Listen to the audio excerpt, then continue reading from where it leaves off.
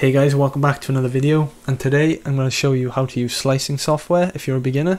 So what I'm going to do is go to the web, grab an STL file, import that into our slicing software and then we're going to slice it up with all the appropriate settings and I'll explain them all and then we'll export the G-code to an SD card where we can get it to our 3D printer. So if you are new to my channel and you want to see more videos like this on 3D printing, hit that subscribe button and you won't miss any videos from me. So, let's get stuck straight in. First thing you'll notice is that I'm using Slic3r Prusa Edition. And this is a slicing software provided by Prusa on their website. So if you haven't got this downloaded and installed yet, what you want to do is go to prusa3d.com forward slash drivers. Any links I mention will be in the description below, so just go check them out. Uh, once you're on the website, you'll be greeted with uh, multiple different models of printer. So find which one you've got. In my case, I'm using the Mark III, and it provides you with, with everything you need for that particular printer. So we've got a firmware package. I'll also be doing a video on this, so if you want to see that, again, subscribe and you won't miss it.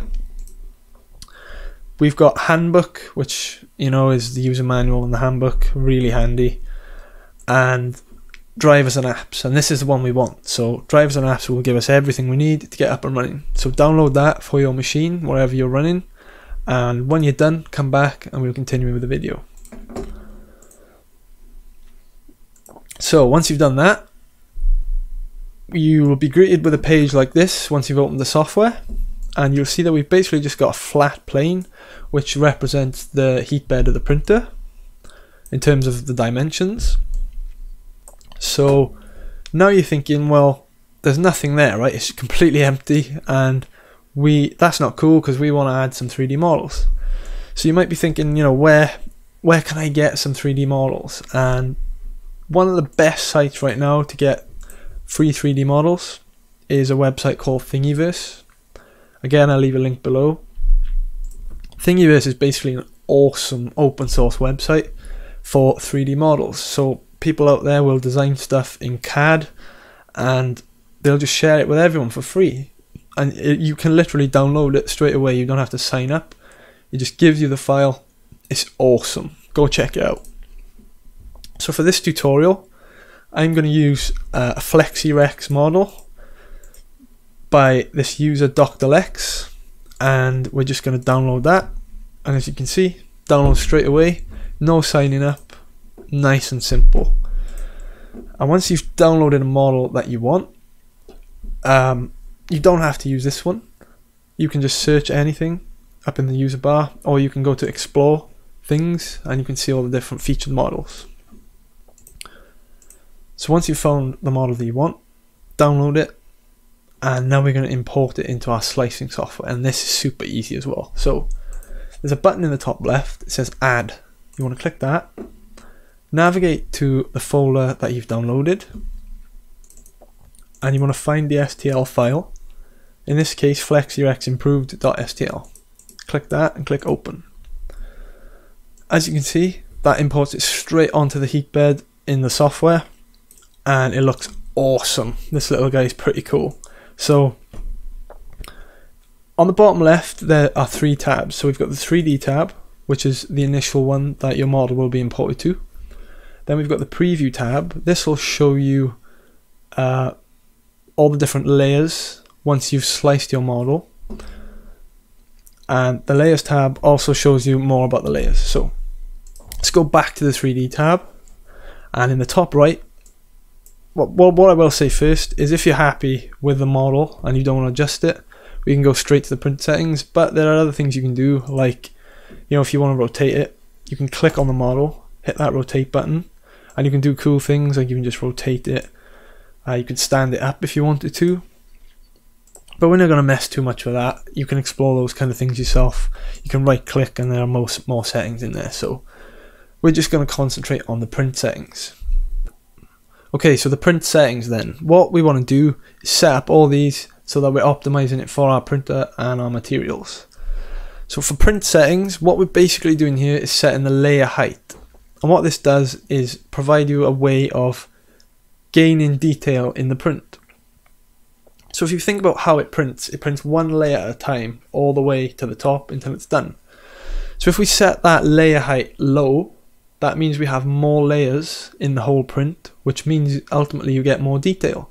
But with that comes more time because it, will take longer, you know, there's more layers.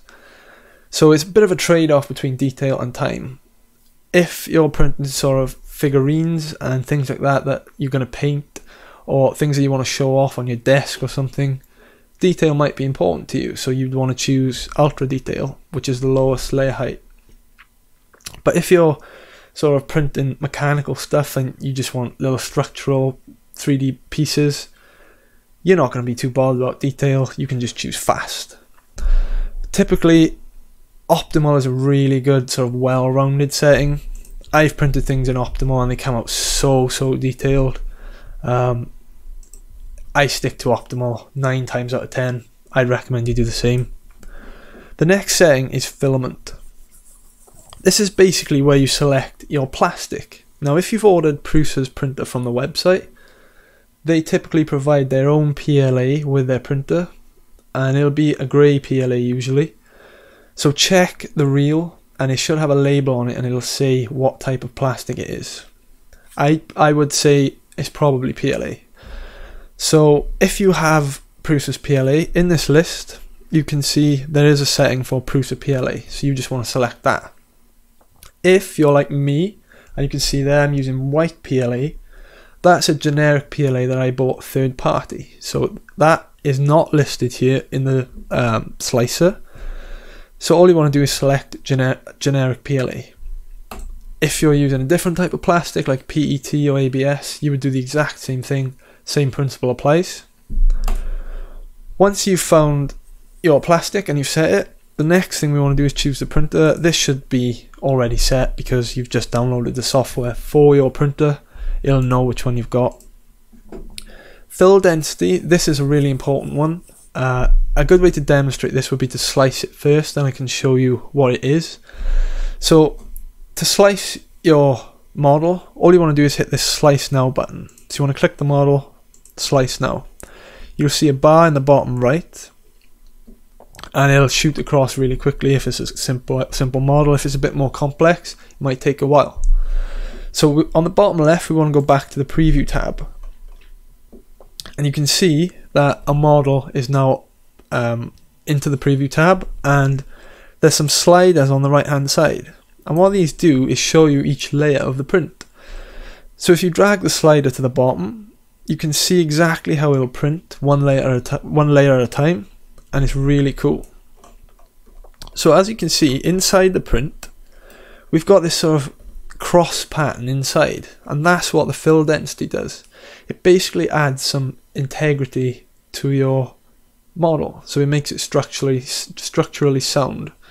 Um, you can change this and increase it but it depends on what you're trying to print really. Um, so just to demonstrate, if I change this now to 70%, and I reslice. Bear in mind, anytime you change a setting, it'll need to be resliced to apply that those settings. So just keep that in mind. As you can see there, um, we've now got a much denser infill. And what this does is it adds strength, but it also uses more plastic. So again, it's that kind of trade-off between how much plastic do you want to use, how much strength do you need. And it depends what what purpose the print is for. You know, if you're printing little models, as I said, it probably doesn't need to be that strong. So it's up to you. It, that's why I love this 3D printing stuff because it's so customizable to each person and their needs. You can really do whatever you want. It's awesome. So typically 20% is a solid rounded value to go for. Any more than 20% and honestly you're probably just wasting plastic. As you probably know, reels of PLA, you know, they're not that cheap and you want to get as many prints out of them as you can. So 20%, honestly, that's a really good value to go with. So choose all the settings you need.